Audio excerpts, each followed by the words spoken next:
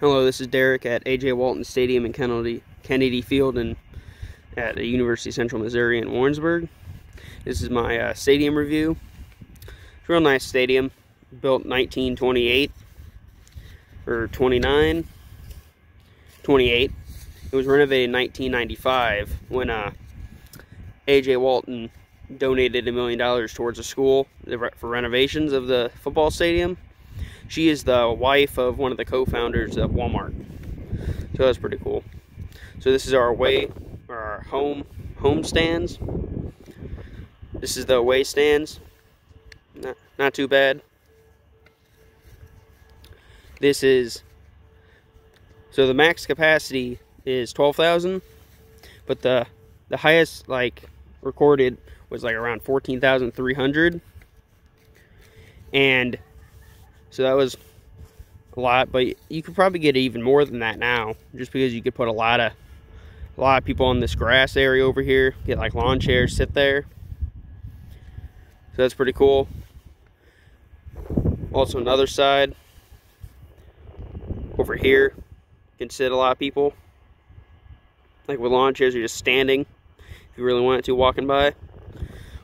One of the things I like about the stadium is just how open it is. It's not like a normal bowl stadium like you'll see at like other universities and Division One colleges.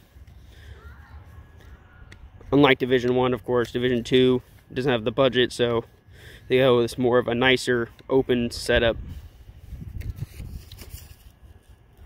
And to the in 2020, it was actually ranked the ninth best Division Two football stadium by the D2Football.com. That's pretty cool. These apartments over here were built in 20, 2010, and they have a great view of the football games on Saturdays. You can watch from any of the windows, get a decent view. So it's pretty nice. The field is turf, which is real nice, much better than grass. I, I say it's a lot like every a lot of other colleges you're doing turf fields, or most all of them are all turf fields now. So that's pretty cool. So here's a closer look at our press box. It's real nice. It shows all of our MIA conference championships. We last won in 2019. All of our bowl games. Last we were in 2017. And then times we've made the playoffs. So that's pretty cool. I'm going to take you up to the seats.